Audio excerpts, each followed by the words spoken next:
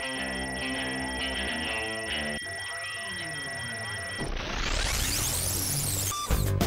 what's up, everybody? Welcome to Comic Book Club. I'm Alex. I am Pete. And Justin is still away, but we are going to answer your audience questions. Yeah. You guys sent them in to twitter.com slash comic book live. We're going to try to blast through them. But if we don't make it to yours, uh, please know that we will be asking again next week. Um, so check it again. Hopefully they're not all about Justin because that'll They that'll are. tough. First one is, why is Justin so pretty? well, it's because he's a girl. there you go. Uh, Andrew Nickel asks, this is a question right for you, Pete. Got any recommendations for good Hulk runs? Just pick up the omnibus and looking for more. Well, obviously, I would say um, that uh, the Jeph Loeb stuff is no. You, there's no joke. No, no. I would say that uh, you would go back. Uh, I, the first arc that I fell in love with was Herb Trimpe's. Uh, I can't remember the name of it, but he shrinks down and uh, to a very Uh-huh. small Hulk and Oh, yeah, takes that's on. Saves the I also love the stuff uh, where it was on the crossroads. Oh, uh, yeah. where that was the first time Doctor Strange banished the Hulk. That was pretty good. Speaking of that, uh, Planet Hulk, Planet Hulk was Great. amazing. uh, like World War Hulk as World- well. World. Breaker, yes. Yeah, that's good. All of Peter David's stuff is Yeah, excellent. So yeah. definitely go back, pick up. I think in the Hulk Visionary trades you can find. Uh, but the the old school like the fun stuff is the Tim Sale Jeph Loeb is just kind of like beautiful, kind of cool looking. It's a Oh, Hulk sadder. Hulk. Yeah, Hulk Yeah, Hulk Gray. Gray also very Yeah. good. Uh, John M. Powell 01 asks, where's the best social network for artists and writers to meet and collaborate? Um, a lot of people uh, do it on DeviantArt or LiveJournal. Those are two places. Zuda is a great place to chat. Also, just on message boards in general, it's a great place to connect. Um, another great place, if you want to do someplace live, there's a comic book talk show every Tuesday night at 8 p.m. in New Yeah, York City. New York City. It's a great place. Yes, it's a I am- very open forum. I'm joking, obviously, but at the same time, we do have plenty of people that come by there and chat. So if you want to come hang out and talk comic books, I would say find find your art, what you want to do, and then kind of look for websites along those lines. Like I know you, if you go to Marvel and DC chat, there's people who are talking a lot of shop there. So really find what you like, and then kind of go from there. that's a great recommendation. Uh, Evil Twin Brian says, "Do you guys think Dick Grayson taking the mantle of Batman seems like it's riding the whole Bucky taking over as Cap thing?" Oh wow, I didn't think about it that way, but now that you mention it, it's very interesting. Uh, but You're so sarcastic. no, no, no, I'm serious. Oh, really? Yeah, it didn't. It didn't occur to me until now, uh, until he brought it up. An evil twin, very, very sly. Um, here- here's the thing, actually, I'm going to break it down for you guys. All these times when uh, to comic book fans it seems like, oh man, DC's totally ripping off Marvel. Oh man, Marvel's totally ripping off DC. This is just stuff that happens. Yeah. Writers have ideas. They're not. Nobody knowingly tries to rip somebody else off. Dude, that's not true because in every Marvel meeting there's a DC plan, and vice versa. Well, okay, I'll use this very specific example. A lot of people are talking about Necrosha, which is the upcoming event, and X Force, New Mutants, and X Men Legacy, uh, and how it seems like the dead are going to rise, which is a lot like Blackest Night. They keep saying, "Oh my God, they're totally ripping this off." No, it's just the way that they're progressing the story, and it's naturally threatening to have dead rise. Also, zombies have been very hot for a while. Yeah. People have been talking about zombies, so it gets into the collective unconscious. That's generally how these things work. When you have good writers, you have big companies.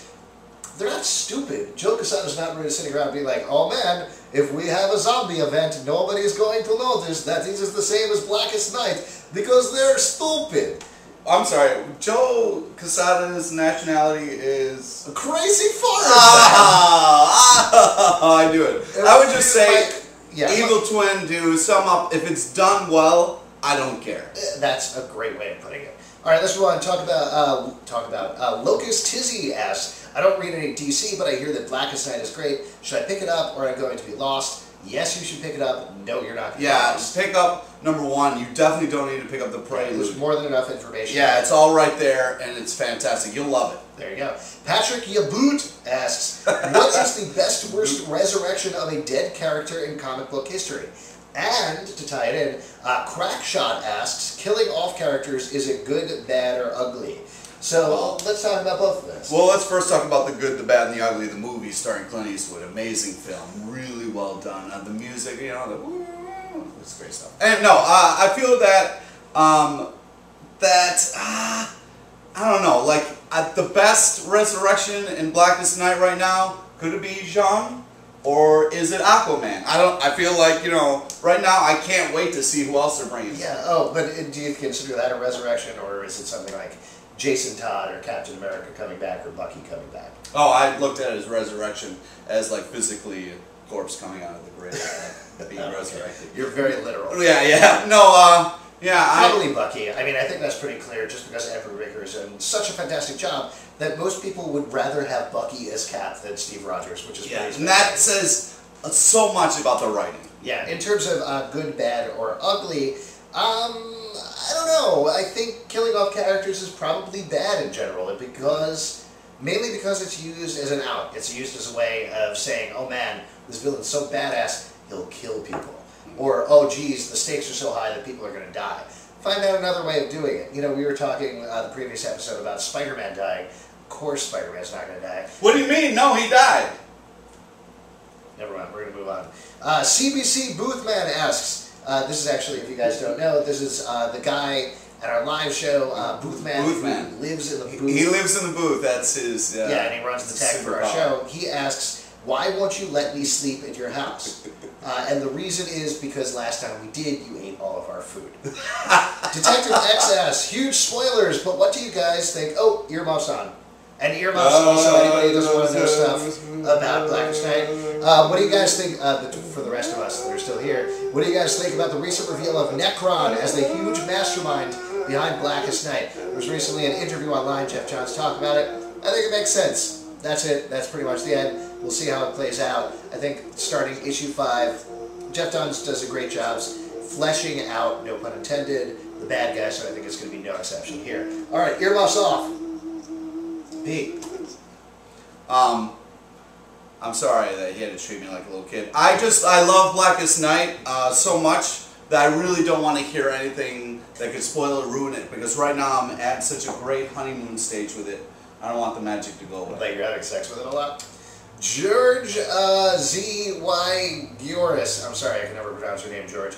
Uh, asked, does the CBC crew prefer the return of Barry Allen, or do they miss Wally West in their glory? A lot of resurrections today. Yeah. I love Wally West. I named my flash drive, get it, Wally West. I have Wally West figure right over there. Wally West is my Yeah, favorite right Flash. Flash Drive. I can be sold on Barry Allen, but I love Wally West, and I need more Wally West. I'm, I'm a Barry guy myself. Oh, come on. What are you, like 50? That's- Grandpa? Same thing. Chovengo uh, asks, if Pete is Wolverine and Justin is Spidey, what comic book character is Alex? Cypher There you go. or MODOK. it's close. Mental organism designed only to krill. Because I like, I like to Yeah. I have Baleen. Patrick Boot says, oh, this is last but not least, uh, what comic book title would you want to be adapted into a movie? Oh man. Livewires. Adam Warren's Livewires from Marvel. One of my favorite things of all time. Seriously, pick up the digest. It's fan freaking tastic. Uh, it is a movie. It should be a movie or a TV series. It should be an ongoing.